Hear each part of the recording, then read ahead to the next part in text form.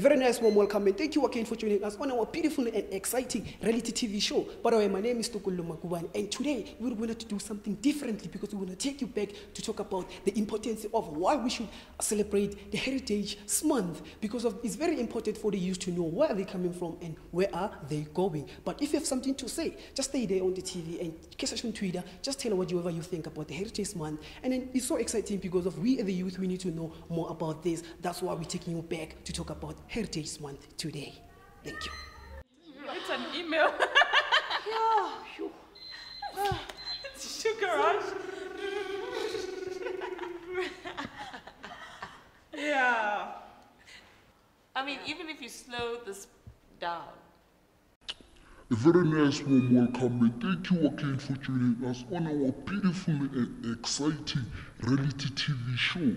By the way, my name is Tukulu Makuban and today we're going to do something differently because we want to take you back to talk about the importance of why we should celebrate the Heritage Month. what? oh my word! he what was he starting said. to make sense towards the end, but like the first few ones, when you slowed it down, it's like. I understood exactly what he said.